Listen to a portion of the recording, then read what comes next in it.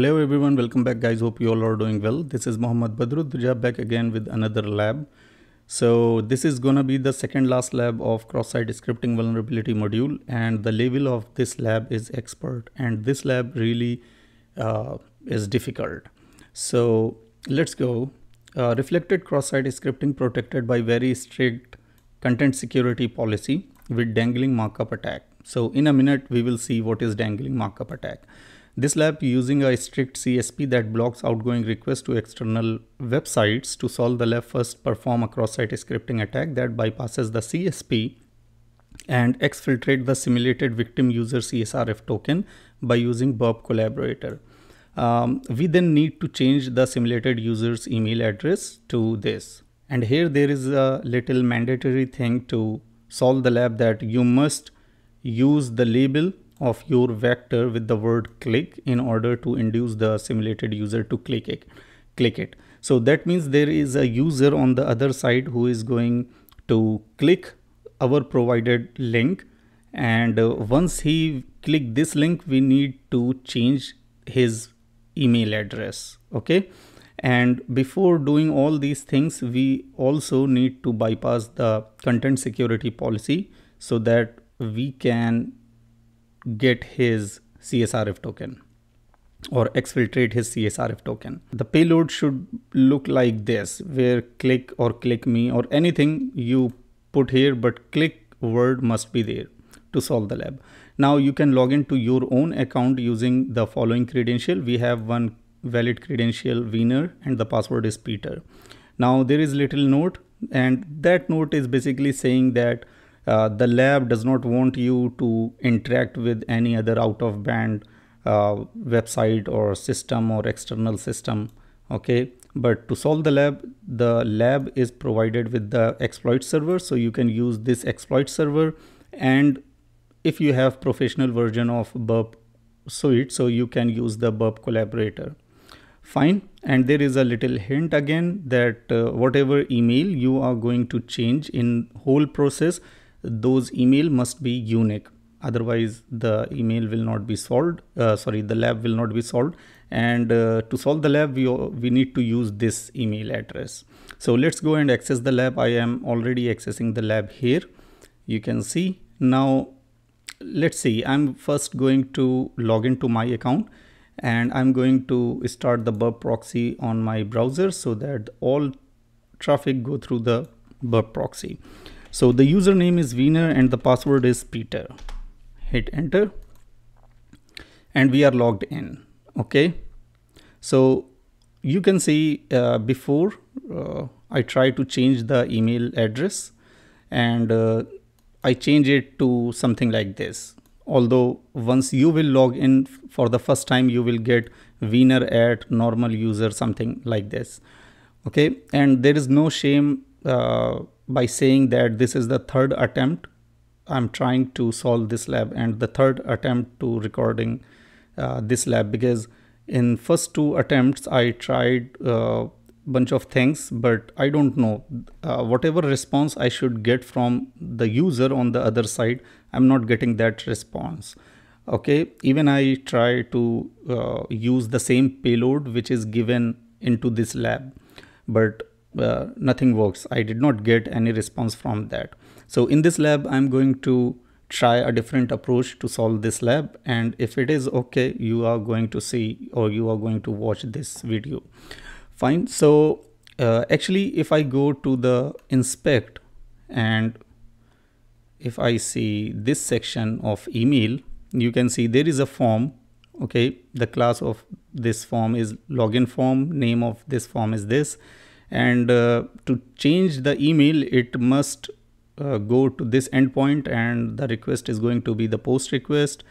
Uh, and there is one input field which is asking for the email but the interesting part here there is one hidden field also and that hidden field also contain already contain the CSRF token. If I change this field from uh, hidden to let's say text and hit enter then you will see here our CSRF token, right? But this is hidden. User do not need to see this. Okay. Although once you try to change email, let's say aaa at bbb.ccc and if you try to change the email this csrf token because it is already uh, hard coded in the uh, in your form okay and automatically this random string every user will get this unique random string okay? So every user have different csrf token. So if i see the request for changing the email you can see this is the post request and here we have two argument or two parameters. One is email and another one is csrf so if you want to change or if any user want to change the email address uh, he must specify the csrf if you do not have the csrf you cannot change your email address. That's that is the first thing. Second thing you can see here there is a session id and this session id also unique random session id for every user. Okay? We will come to this point later but my first purpose is to uh, show you that these parameters are being used and this is the most important one. Fine.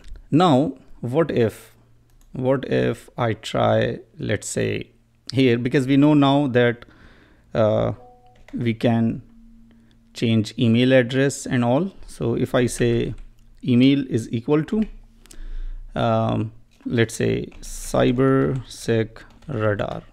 And if we hit enter you can see whatever input we put within the email parameter we can see that here that is rendered here that means this could be the source from which we can control the input. Okay? So this could be a source. So what if let's see i'm going to inspect it again and here is the thing. We have here the value. So what if we terminate this form here so that the next form contains uh, rest of the csrf token value and this input field. Let's see. Uh, i'm going to show you the csrf policy. So let's say if I go to the network and just uh, reload this page again. Okay. So you can see this is the request.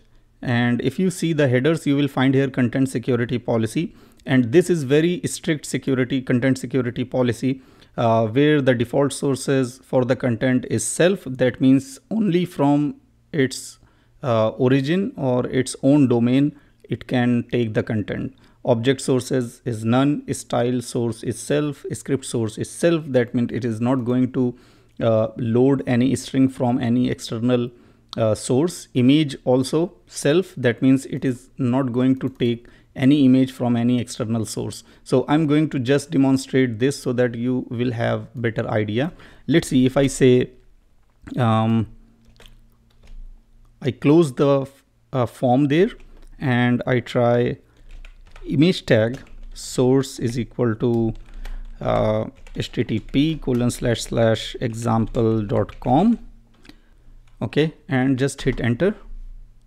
So you can see once the page is rendered is it's trying to load an image from this source but if we see to the if we go to the console so here you will see one error content security policy and it's saying the page settings block the uh, loading of a resource at example.com. So uh, we try to load an image here from example.com but it is denying because of the content security policy because uh, the attribute is set or directive is directive of the image source is set to the self so it is not going to take any image from any other external sources right Fine. So let's see. I'm going to go to the inspect again. Now, uh, this is just to show you about the content security policy. But actually what I want, I want to, uh, I'm going back. So what I want, I want to terminate this form within this input field after this input field and create our own form. So let's see, I'm going to close that form and we will create our own form. So within form I will create form same like this like this one. So let's say I'm gonna say class is equal to login form. And then I'm gonna say name is equal to um, my form. This you can do you can give any name. And then I'm gonna say perform an action. And within this action I want to specify uh, exploit server. Because exploit server we can consider it our own controlled server. So whenever anyone hit this exploit server we are going to get the hit and we can see that request that it, this request is coming from somewhere. We can also publish our payloads okay? So this is attacker controlled server. Here in the action i'm going to say and the method is going to be get method. So it will just hit this server fine now, one thing before going further, one thing here which I want to explain that is dangling markup. What is dangling markup? So it refers to HTML or markup code that is left incomplete or improper terminated within the context of the generated HTML, right? So whenever a user input is directly included in the HTML output without the proper encoding or validation, fine. So it can inadvertently introduce dangling markup. And if we talk about the dangling markup attack, so it occurs when any untrusted user input is embedded within the web page without proper sanitization or validation. Okay, so it allows an attacker to inject malicious markup or code into the generated HTML. Fine. So this is what uh, dangling markup is all about. We will see here uh, the practical approach. I'm going to also put here one button like you see here there is one button which is saying uh, update email class is equal to let's say button and type is equal to submit. Okay? Very easy. You we just need to follow the same thing whatever here we have. Okay? So after submitting we are going to close it and let's say I say here click and then I'm going to close the button. Also wait a moment. I need to actually copy this uh, from here. Okay so copy that and I'm going to put it here. So we don't need to write every time.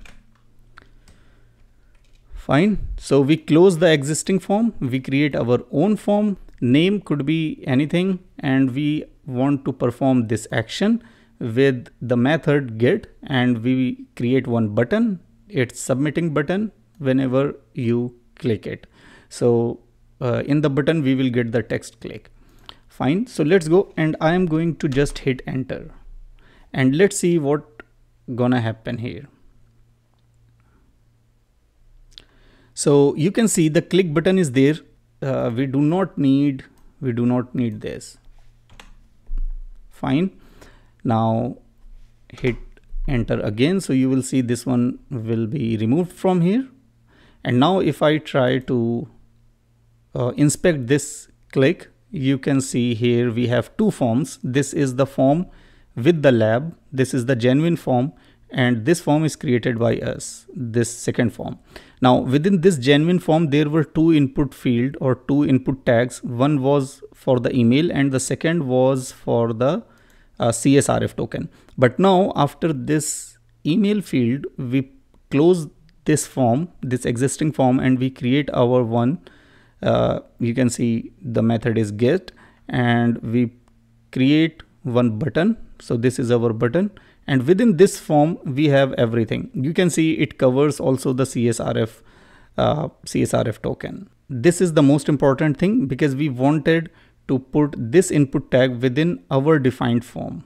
Now what will happen? So suppose that once we uh, click here it will redirect us to the exploit server as you can see here because the action is saying to go to exploit server with the get request. Okay so here you can see we redirected to the exploit server and you can see here the CSRF value is there. Fine. And this is our CSRF value. So this is just to test whether it's working fine or not. So uh, if I go to the exploit server you can see the within the body there is hello world and this is what we are seeing here now if we want to see whether uh, this request reached to this exploit server or not. So if you go to the access log, um, you can see this is the request that hit by us. Fine. And this is our public IP address. Okay. So I hope you understand this. And within the same approach, uh, we are going to build our payload so that when another employee or when another user is going to click this button, he is going to hit this exploit server and we are going to get his CSRF token within the log. Fine. So let's go back and I'm going to build things here. So first thing we do not need this one. And let's see what I'm going to do is script and close the script tag. Fine. Now I want to say uh, once this script is executed I want to uh, send it to a location and the location could be this so uh, it's gonna be our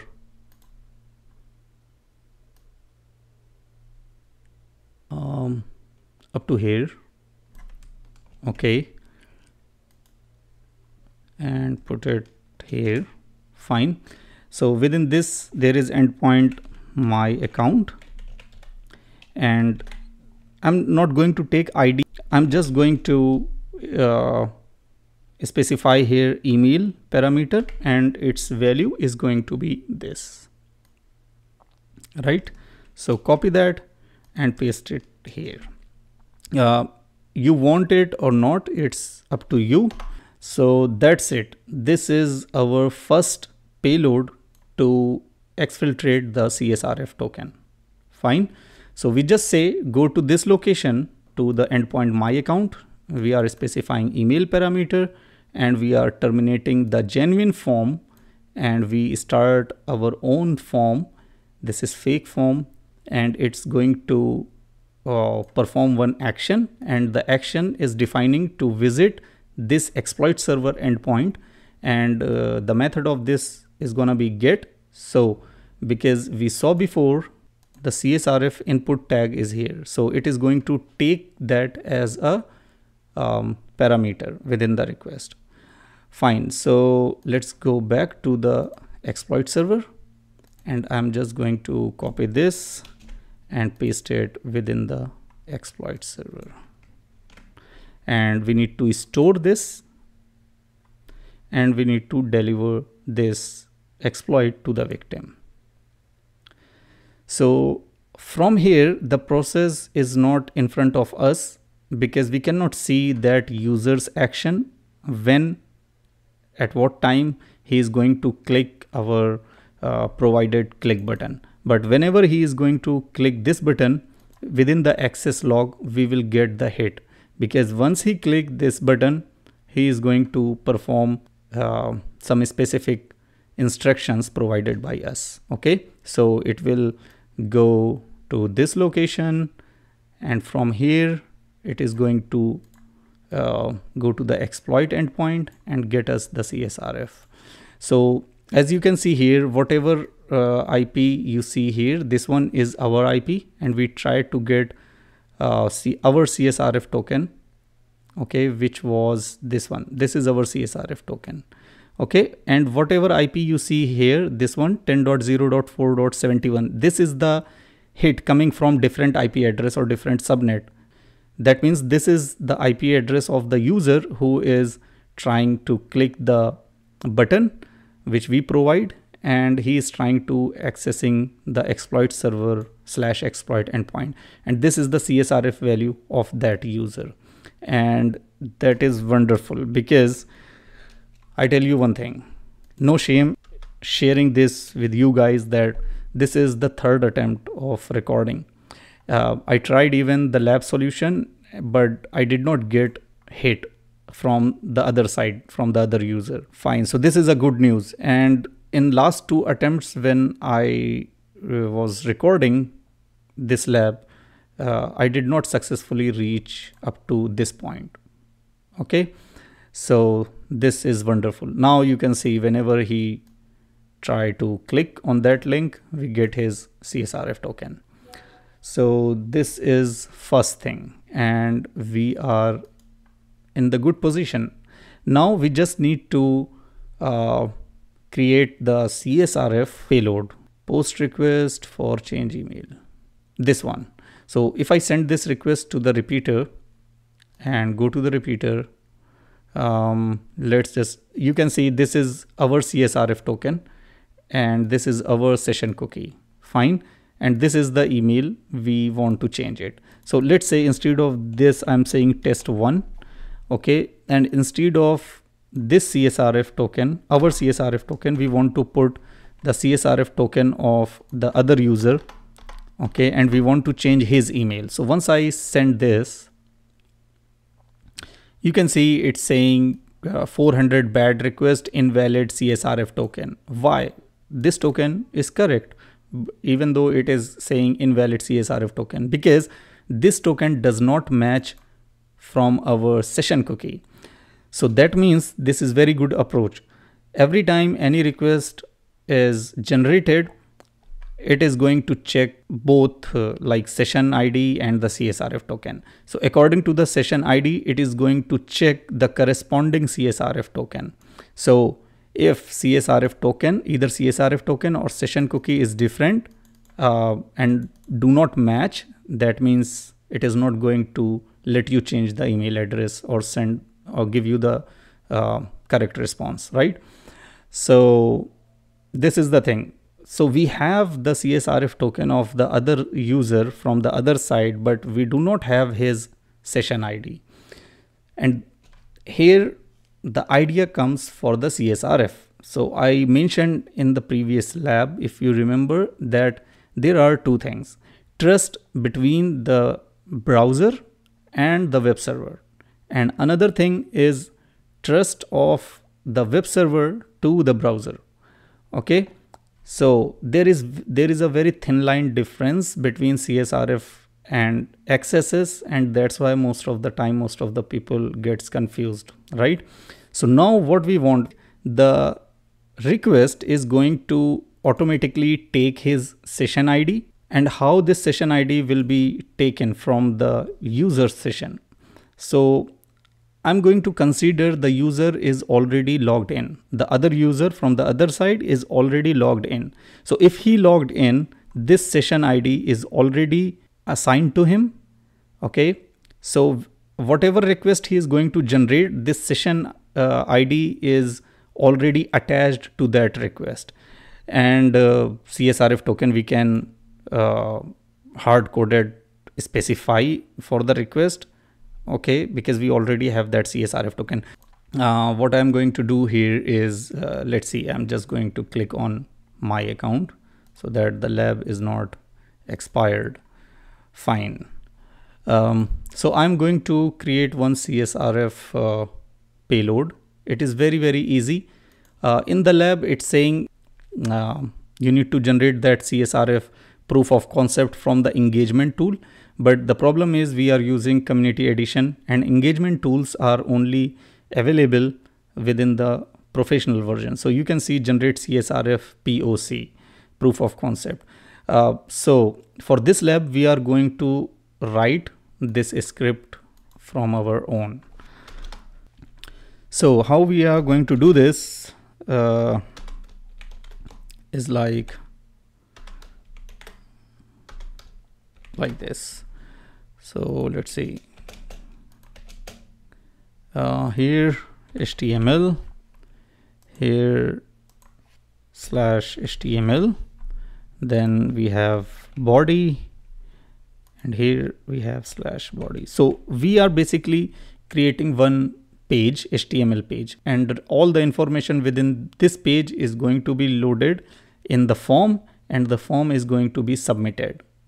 Because the user is already logged in so once this request is made by the user so that session id is already pinned within the request.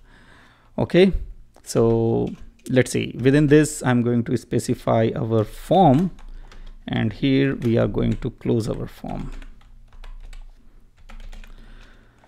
So form let's say we need one action and uh, uh, we need to specify the method okay? And this time the method is going to be post.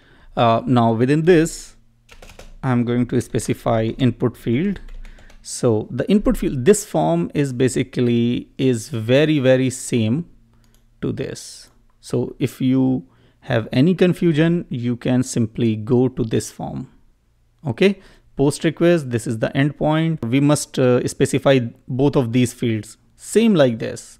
You will see that here. So input, um, first is type is equal to hidden. This is the only thing which is different from that form. We want a hidden form so that user do not see anything. Name is equal to email and value is equal to uh, what value we need to solve this lab what email we need to change this email so i'm going to copy that back here paste that second we need another input tag type is equal to same hidden. Name is equal to csrf and the value of this csrf is equal to we already have it here. So copy that and paste it here. Fine. Uh, we need to also specify the button here as input. So input type is equal to let's say submit and the value is equal to let's say submit. Uh, wait a moment. I forgot to close these. And here also. Fine. And now the form is uh, completed. Now after this form after this form is filled I want this script to be executed. So script and close this script tag. Okay.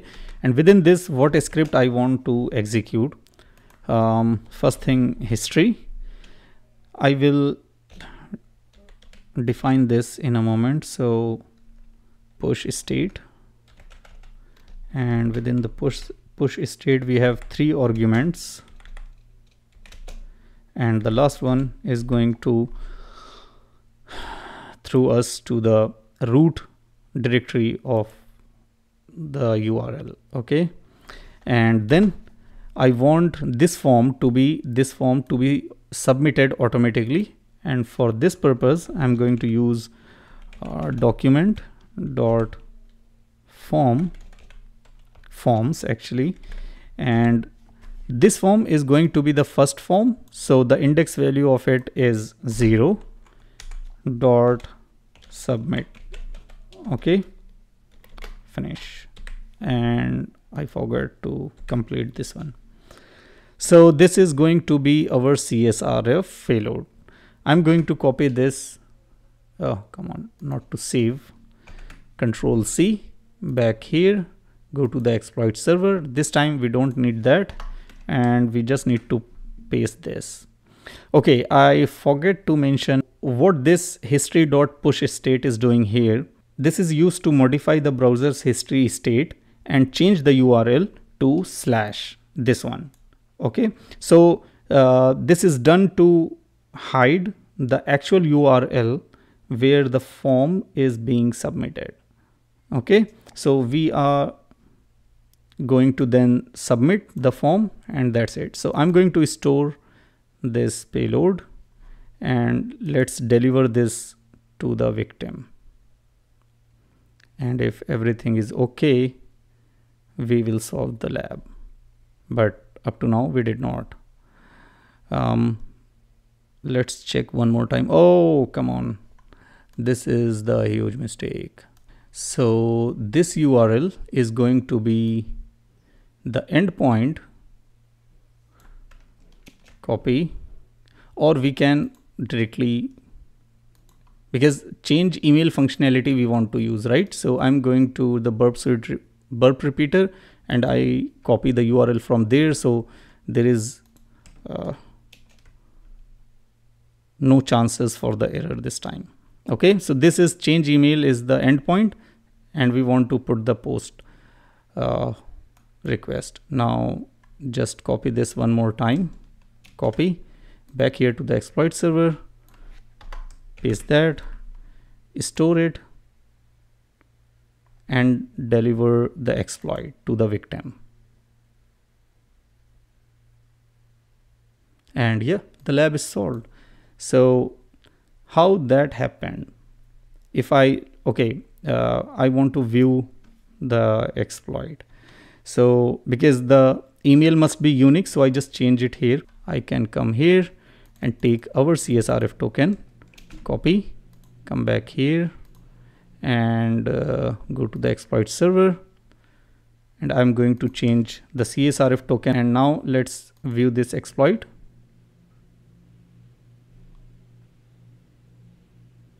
And as you can see now we are wiener user and our email id gets changed the second part is although a bit easier but the first part was worst because uh, we did not get the hit from the user side to our exploit server fine so how this exploit server basically work i just want to give you a little brief or little uh, high level overview. Suppose here we have uh, Python 3 space hyphen m HTTP and let's say this is the attacker controlled server. Okay, this is attacker controlled server. Here, uh, let's say ifconfig and this is our IP address. Okay, copy. So on this IP address, on this IP address, this exploit server is published. Now, if some user, if any user um, try to access this, this URL or this server, so you can see what we have, we get the hit here. Similarly, we do here in the exploit server. So exploit server is our controlled server, which is this. And when somebody try to access that server, we get the hit. In the exploit server, we can publish our exploit, our script. Okay, we can uh, provide the file to be downloaded. So whatever we want, it just uh, depend on the purpose you want to achieve. So that's it for this lab. If you like the content, please like, subscribe and share. I'm going to see you in the next lab, in the last lab. Bye.